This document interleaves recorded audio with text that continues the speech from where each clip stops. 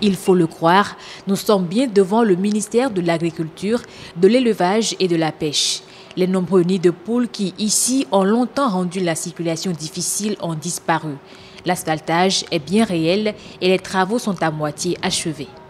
Aujourd'hui, on est à 50% euh, globalement sur le projet, 50% d'avancement. Ce que vous voyez là, c'est ce qu'on appelle la couche d'impréhension.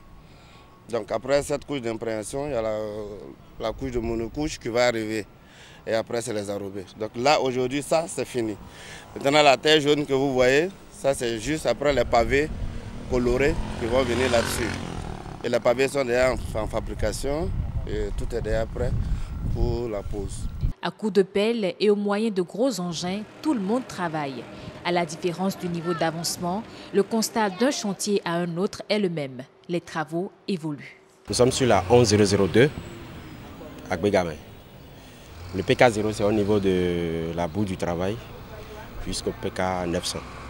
On a déjà construit les caniveaux de part et d'autre quand on parle de part et d'autre, de gauche à droite, étant que c'est une double voie, et c'est une voie bitumée également. De façon générale, techniquement, je peux dire que nous sommes déjà à 115% des activités techniquement. Alors, pourquoi La saison des pluies, ça nous a gêné un peu? Donc actuellement, nous sommes en train d'accélérer les activités pour pouvoir rattraper le temps perdu. Géomètres, ferrailleurs ou manœuvres, tous ont visiblement conscience de l'enjeu de l'asphaltage. Et même si sur les deux chantiers visités, les opérations ont pris un peu de retard, les responsables donnent l'assurance de ce qu'elles seront achevées dans les délais. La fin des travaux dans le délai qui nous est imparti, aujourd'hui on va dire premier trimestre 2020, vous ne verrez plus cet homme traîner par là.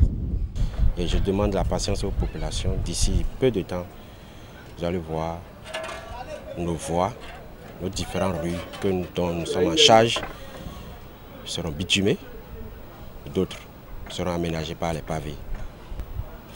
D'ici le 31 décembre, vous allez voir chacun de nous, béninoises et béninoises, on va sourire.